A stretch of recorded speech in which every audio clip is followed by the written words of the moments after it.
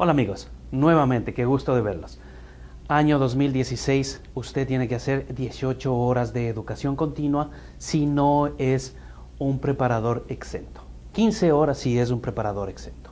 Recuerde, ¿quiénes son los preparadores exentos? Aquellos que tienen aprobado el RTRP, que han aprobado la parte 1 del examen de EA, que son preparadores de California, que son preparadores de Oregon o de Nueva York, en los cuales el estado donde usted reside le ha tomado o le exige un examen.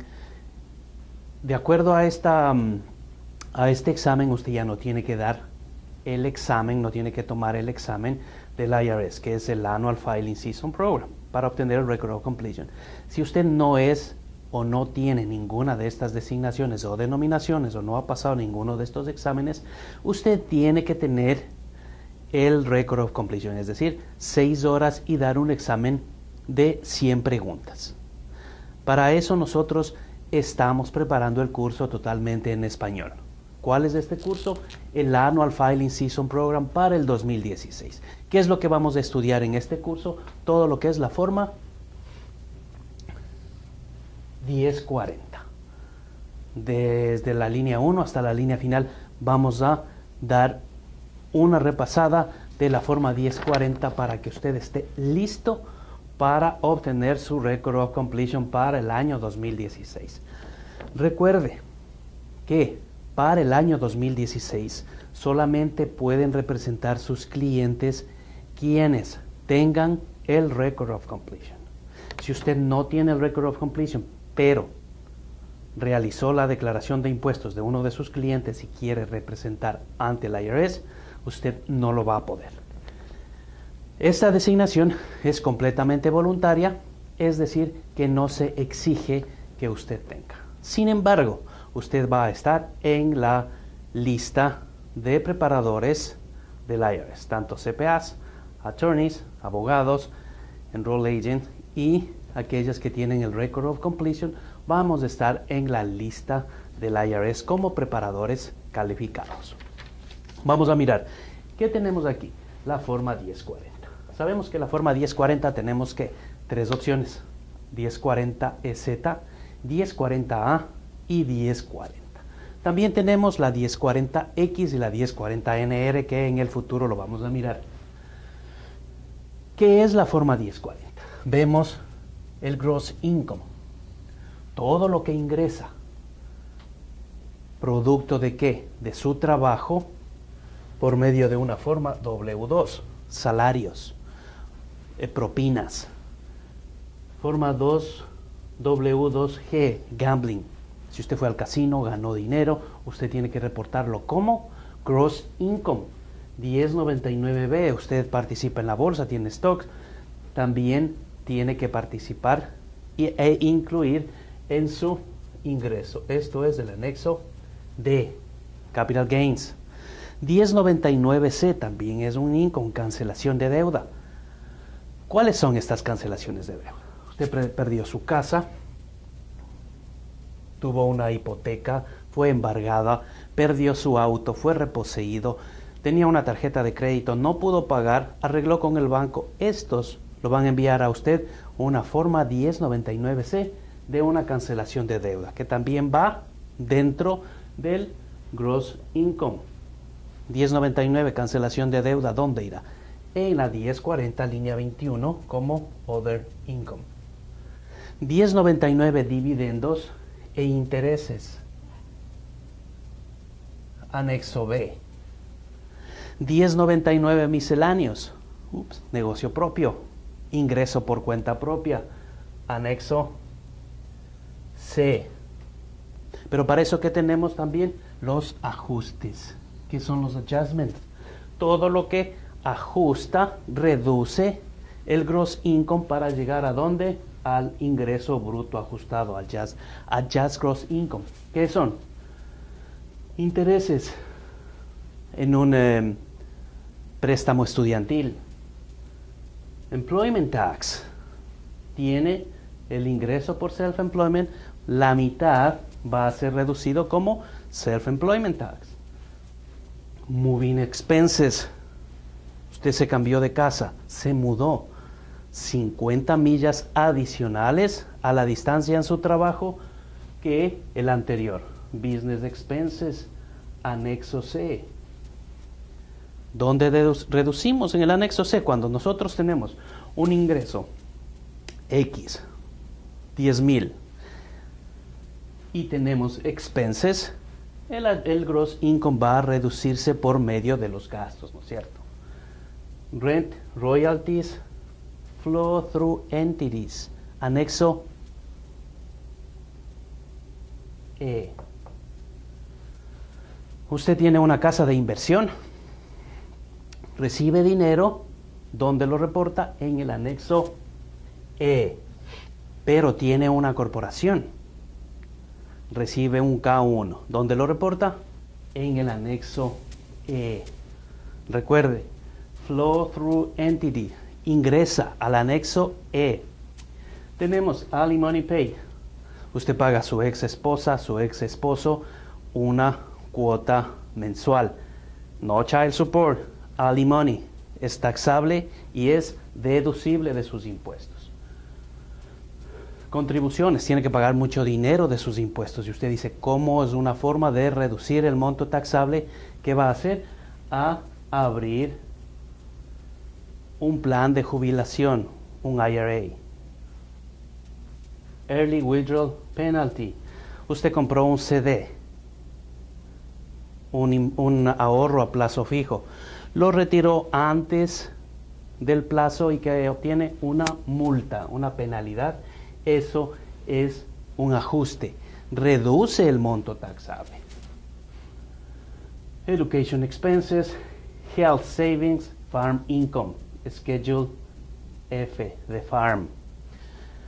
Si yo tengo eh, ganado tengo una, un farm, una, una granja, cultivos.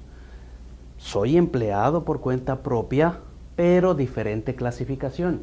Anexo C y anexo F. Una vez que hacemos nosotros todos estos ajustes, llegamos a, a la Jazz Gross Income y nos encontramos con la deducción estándar. La deducción estándar soltero, casado, cabeza de familia, viudo calificado, casado que declara en forma separada. Itemized deductions. Uh, anexo a gastos médicos, gastos dentales, donaciones a la iglesia, el interés de la hipoteca de la casa, el property tax, eso es deducible en el anexo A. Si mi deducción detallada es mayor que mi deducción estándar, entonces yo voy a usar la deducción detallada para pagar menos impuestos. Exenciones. Usted, yo, los niños, somos una exención. Tengo cuatro exenciones tres exenciones, todo esto redujo el gross income. ¿Hasta dónde? Hasta el monto taxable. Usted tiene un monto taxable de acuerdo a su ingreso, entonces va a tener que el rate, cuánto tiene que pagar. Luego tenemos Federal Income Tax, Tax Credits, AMT, Alternative Minimum Tax. ¿Qué es el Alternative Minimum Tax? Usted tiene demasiado, demasiadas deducciones en el anexo A. Al tener demasiadas deducciones en el anexo A, el gobierno dice, ok, un momentito, como usted está reduciendo tanto el federal, el, el monto taxable, le vamos a cobrar que otro impuesto, impuesto alternativo para ingresos adicionales. Self-employment tax, 15.3% es del self-employment tax. Cuando yo soy empleado por mi cuenta, tengo que pagar el 100%. Cuando yo tengo una W2, yo pago el 50% de los aportes y el otro 50% paga quién? El empleador. Estas son las dos diferencias. Ser un empleado o ser un empleado por cuenta propia. Los ajustes y los sketches. ¿Qué vamos a ver en los sketches? El anexo A. También podemos poner gastos en el anexo A. ¿Qué tipos de gastos? Si usted es un eh, supervisor de una tienda por departamentos que está en varios sitios de la ciudad, ese dinero, ese millaje no es reembolsado, usted puede poner ese tipo de gastos. Entonces, usted se desplaza, va a poner en el anexo A. O también tiene una computadora. Esa computadora usted lo utiliza 20% en el hogar y 80% para su trabajo. Entonces en el anexo A usted puede incluir una depreciación de esa computadora el 80%. ¿Por qué? Porque el 80% usted está utilizando en su trabajo. El otro 20% no es deducible porque lo utiliza en su casa para efectos personales. Entonces vemos que también podemos usar depreciación en el anexo A. El anexo B, intereses y dividendos. Todos los intereses deben ser reportados, inclusive aquellos intereses que no son taxables como los intereses de los bonos municipales. Anexo C, uno de los más controversiales. Tenemos que estudiar muy bien el anexo C. No podemos encontrar un anexo C con 50 mil dólares de gastos y cero de ingresos. Un cliente le dice, lo que pasa es que todo esto, mi negocio es a pérdida, por eso yo en el anexo A tengo menos 50 mil dólares. ¿Perdí? ¿Cómo así que perdió?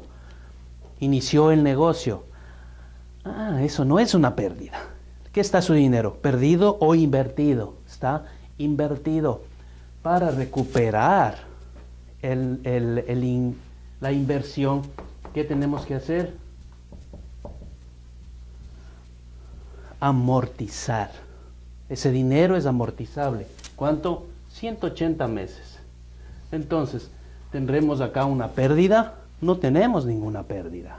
Está invertido el negocio. usted compra una casa de inversión no puede decir en el primer año perdí 200 mil dólares, por eso declaro menos 200 porque compré la casa.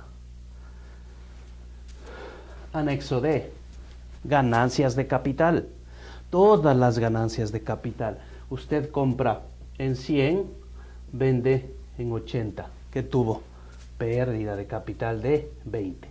Si estos son 20 mil, ¿cuánto vamos a poder deducir cada año?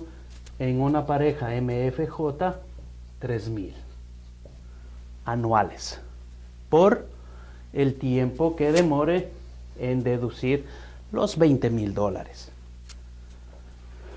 Anexo E, rentas,